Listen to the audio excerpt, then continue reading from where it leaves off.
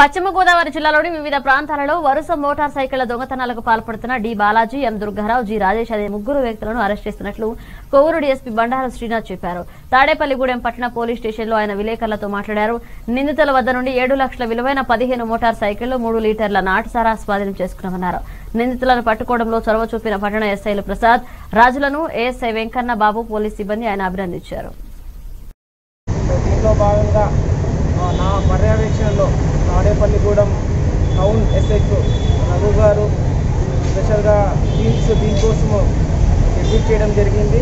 దీంట్లో భాగంగా ఈరోజు ఇరవై నాలుగో తేదీ మార్నింగ్ లక్ష్మీనారాయణ థియేటర్ దగ్గర ఒక ముగ్గురు మంది సారా అమ్ముతుండగా సో వారిని పట్టుకొని విచారించి విచారించి విచారణ చేయగా వారి వద్ద నుండి ఒక పదహైదు బైక్ బైక్లు దొంగతనం చేసినట్టు వాళ్ళు తెలిపినారు వారి వద్ద నుండి ఒక పదహైదు బైక్లు మూడు లీటర్లు సారా వారు వారి వద్ద రికవర్ రికవరీ చేయడం జరిగింది.